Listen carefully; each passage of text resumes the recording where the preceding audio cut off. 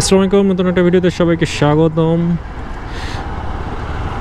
So নতুন IT blog নিয়ে চলে আসলাম। অনেকদিন হলো মোটর ব্লগ করি না। মাঝখানে একটা দিন গ্যাপ গেছিল। সো আমি চেষ্টা করতেছি রেগুলার ভিডিও আপলোড করার জন্য। কারণ আমার অস টাইম একদম মনে করেন যে তীরে এসে আটকায় আছে, অল্পর জন্য আর হচ্ছে না। সো আর মাত্র আমার একশো ঘণ্টা দরকার। সো তাড়াতাড়ি আপনারা করে দিন।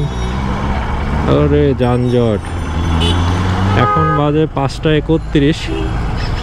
আর এই সময় যানজট বেশি থাকবে, এটাই স্বাভাবিক কারণ হচ্ছে সবাই এখন বাসায় যাওয়ার চেষ্টা করতেছে, আর একটু পরে ইফতার। আর দেখুন, একটু পরে আজান দিবে বাট এখনও সূর্য মামা এখনও আছেই মাথার উপরে। আর এখনকার ওয়েদার এমন হয়েছে যে দিনের বেলা প্রচণ্ড গরম লাগে রাত্রেবেলা অনেক ঠান্ডা লাগে। সো রাত্রেবেলা মনে করেন যে কম্বল গায়ে দিয়ে থাকতে হয় আর দিনের বেলা গরমে বে বাইরে বের হওয়া যায় না। সেই হলো অবস্থা। যাই হোক, তারপরেও এবারকার রোজাটা অনেক ভালো সময়ই হচ্ছে। কারণ মানুষের অতটা বেশি কষ্ট আর হচ্ছে না এবার। কারণ ওয়েদারটা খুবই ভালো যাচ্ছে। কালকে সামান্য একটু বৃষ্টি হয়েছিল বাট আজকে সব কিছুই ঠিকঠাক। সো আমার ম্যাক্সিমাম ভিডিওগুলোতে আপনারা এই রোডগুলো দেখেন। কারণ আর করার কি আছে বলুন? সবসময় এই কাজ নিয়ে ব্যস্ত থাকতে হয়, কাজের ফাঁকে আপনাদের জন্য ভিডিও বানাই। কারণ ওই রকম মানে এই এই এই সাইড দাও না কেন? আঙ্কেল সাইড দেন। রাস্তার মাঝখানে দিয়ে হাঁটলে তো লাগাই দিবে গাড়ি। সো এই যে এইখানে বিশাল একটা বাজার বসে পুরো রাস্তা জুড়ে। দরকার কি? এই রাস্তাটা আটকায় দিয়ে বাজারটা বসায় দিলেই তো হয়। মানে উদয়, বাজার যারা বাজার বসাইছে, তাদেরও কষ্ট হচ্ছে। যারা গাড়ি নিয়ে যাচ্ছে, তাদেরও কষ্ট হচ্ছে। সো এটা ডেডিকেটেডলি দিয়ে দিক যে তোমরা বাজার করো, এই রাস্তা তোমাদের জন্য। কোনো সমস্যা নেই। মানে ওইখানে একটা মেইন জায়গা। আহ, খালপাড়ে ওই মোড়টা ওখানে সিগন্যাল পরে গাড়ি টাড়ি ওখানে জমা হয় আর ওখানেই দেখুন যে কি অবস্থা। সব বাজার ঘাট ওখানেই।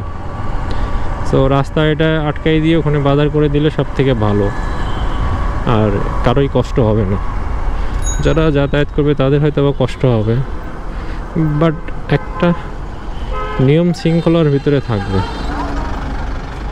কি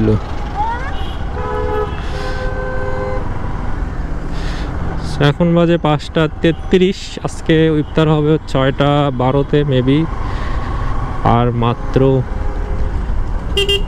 তিরিশ মিনিট, তিরিশ পঁয়ত্রিশ মিনিট আছে। তো আমি বাসায় চলে যাচ্ছি এই জন্য তাড়াতাড়ি। যে বাসায় যাই একটু রেস্ট করতে হবে। রোজার দিন আসলে অত কাজ করতে কাজও করা যায় না। টুকটাক যতটুক কাজ থাকে, অতটুকুই করা হয়। আর এবারকার রোজাগুলা খুব তাড়াতাড়ি যাচ্ছে। আজকে হচ্ছে মনে হয় ষষ্ঠ রোজা হ্যাঁ ষষ্ঠ, আজকে সতেরো তারিখ। আর আজকে হচ্ছে আমাদের জাতির জনক বঙ্গবন্ধু শেখ মুজিবুর রহমানের জন্মদিন, সরকারি ছুটি। বাট জন্মদিনের কোনো প্রোগ্রাম দেখতেছি না এখানে। রোজার দিন দেখে মনে হয় না খুব বেশি প্রোগ্রাম করতেছে এবার।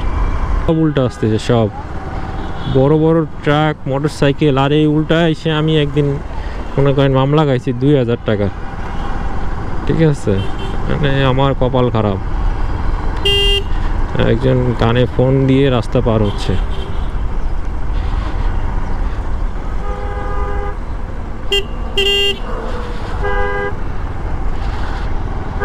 আর এইখানে সবাই উল্টা যায়, কিন্তু আবার মাঝে মধ্যে মামলাও দেয়। এটা কোনো কথা। আমার গাড়ির পিছনের চেঞ্জ পকেটটা চেঞ্জ করতে হবে নগদেই একদম ক্ষয় হয়ে গেছে। সামনেরটা ক্ষয় হয়েছিল, চেঞ্জ করছি বাট এখন আবার পিছনেরটা দেখতেছি কিচ্ছু নাই সাথে। উপরে উঠতে গেলে ঘ্যাট ঘ্যাট ঘ্যাট করে। সব আওয়াজ হয়। সো এটা চেঞ্জ করতে হবে নগদে, কারণ আমার বাসা অনেক উঁচুতে, ওখানে একটু উঁচুতে উঠতে হয়, আবার বিভিন্ন জায়গায় উঁচুতে উঠতে গেলে একটু বিপদে পড়তে হয়।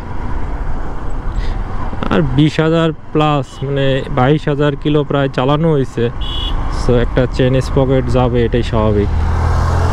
আর অনেক কিছু চেঞ্জ করা লাগতেছে। মাথা নষ্ট। আমার মতে একটা নতুন গাড়ি বিশ হাজার কিলো চালানোর পরে বিক্রি করে দেওয়া উচিত।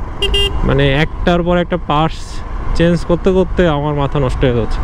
এমন না যে একবারে চেঞ্জ করা লাগতেছে। একটা একটা করে মনে করেন নষ্ট হওয়া শুরু হয়েছে। যেমন ব্রেক গেল, তারপরে ক্লাস ক্লাস প্লেট মানে ক্লাস প্লেটও চেঞ্জ করছি, তারপরে ক্লাস লিভার চেঞ্জ করছি সুইচ চেঞ্জ করছি লাইট চেঞ্জ করছি মানে বিভিন্ন কিছু, একটা করে ধরা পড়তেছে। আমার এই যে ক্লাস কেবলটাও নষ্ট হয়ে গেছে, ছিঁড়ে গেছে, উপরে কাভারটা ছিঁড়ে গেছে সো এটাও চেঞ্জ করতে হবে নগদে।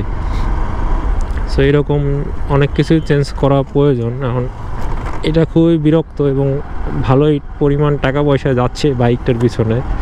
তো তারপর একটা বাইক একটা ভালোবাসার জিনিস এটা শখের জিনিস। এই জন্য আমি এটা সেল করব না, কারণ এটা আমার ফার্স্ট বাইক এবং এখনও অনেক ভালো পারফরমেন্স দিয়ে যাচ্ছে। এদিক দিয়ে প্রচুর ধুলা, এদিক দিয়ে যাবই না আজকে।